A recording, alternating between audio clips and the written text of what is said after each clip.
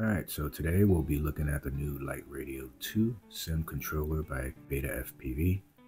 And if you're one that's thinking about getting into the FPV hobby, uh, but find it a bit daunting, then stay tuned to the video because this controller was made specifically for you and me. So let's go ahead and uh, take it out of the box and see what you actually get.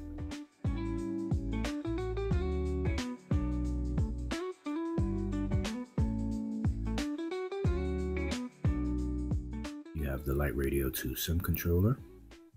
And I personally went with the dark blue color, which I like. Uh, but of course, there are other colors that you can choose from, like crimson red, pink, light cyan, lime green, and light gray. You also get a manual and a Type-C to USB-A cable uh, for connecting it to a Windows PC, Mac, or an Android device which is really cool because you can use it with your phone. So looking at the controller, you can clearly see that it is identical to the LiteRadio 2 SE, which I have right here. And the only differences between them is that you cannot bind or use this one with any of your FPV quads. While BetaFPV designed it only to work with FPV simulators, and it's basically geared towards the beginner who's looking for an easy and safe way to learn how to fly an FPV. As you can see on the top here, it has the same four switches as the LiteRadio 2 SE, which are the A switch, B switch, C switch, and D switch.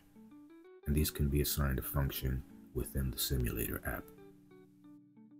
Right here is the Type-C port where you connect the cable to and once you connect it to your computer or Android phone, it'll automatically power up, unlike the LiteRadio 2 SE, which powers up after pressing the button, the SIM controller doesn't power up in the same way.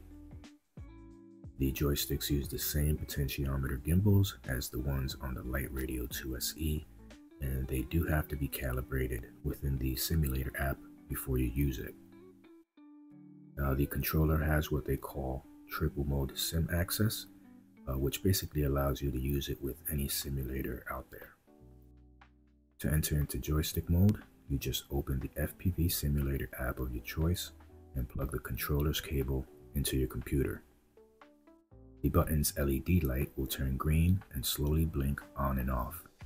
It should then automatically pop up on your screen and recognize it as Beta FPV joystick.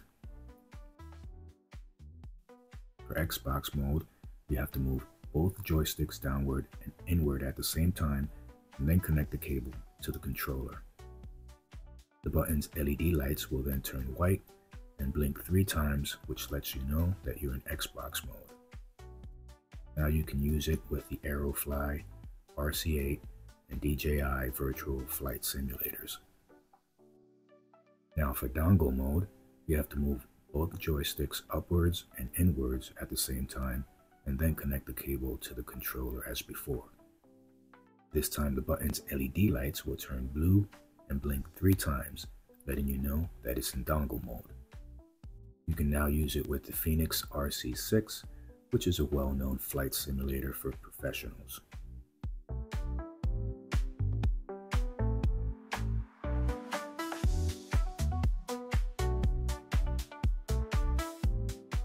Okay, so what I'm going to do now is show you how it works using the VelociDrone simulator app on Android.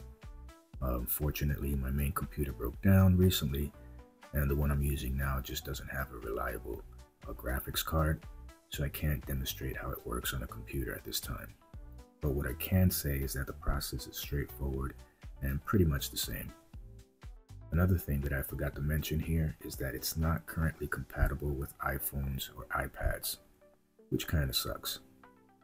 So the first thing you want to do is install the app on your phone. Now it does work with other apps like Feel FPV, but I personally think that it works much better with VelociDrone. Now you do have to purchase it on the Play Store, uh, but it's just a one-time fee, and I believe it's around eight bucks or so, if I'm not mistaken. So once you have the app and have opened it, uh, you'll need to set up an account. Once you're set up and logged in, the first thing you want to do is tap on the Options tab. Then go to input.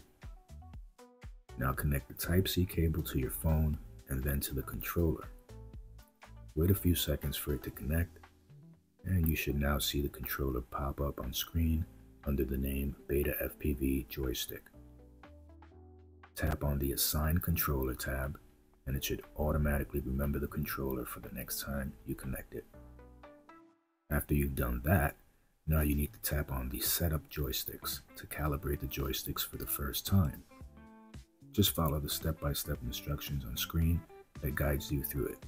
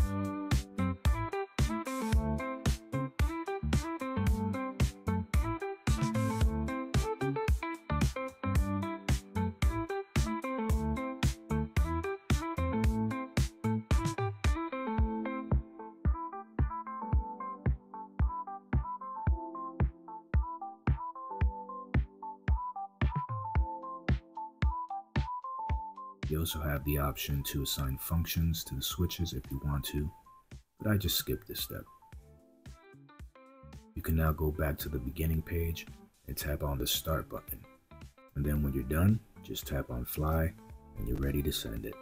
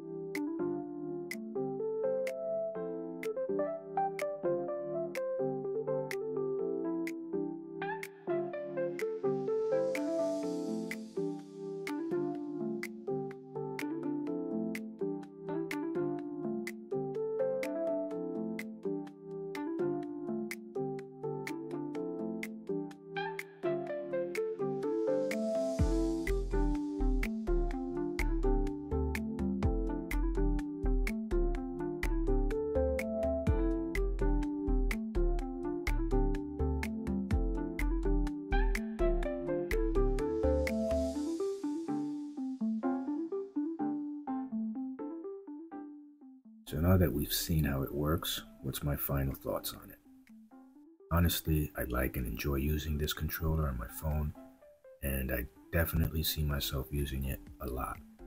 I think it's perfect for beginners just getting uh, started out in the FPV hobby who want something uh, that they can easily use without feeling overwhelmed. Um, the controller feels and acts just like the real one, and the best part is that you just plug it into any of your compatible devices and you can just start playing right away without, you know, the worries of crashing your newly expensive FPV quad that you brought and losing out on your hard-earned money.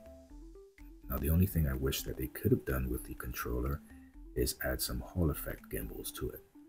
Uh, this would have made the experience much better and more realistic, especially when it comes to the actual command input. Um, the potentiometer gimbals, they're okay, uh, but they do lack in true precision. But that being said, it's still a great sim controller, and I highly recommend it to those who are looking to get into the FPV hobby for the first time, especially those like myself who are used to flying GPS camera drones. Uh, this here is designed for you and me. Anyway, that's it for this video. Hope you guys enjoyed watching it and that you found some of the content helpful. I left a link below in the video description for those interested in uh, getting the LiteRadio 2 Sim. You all take care, and God bless you.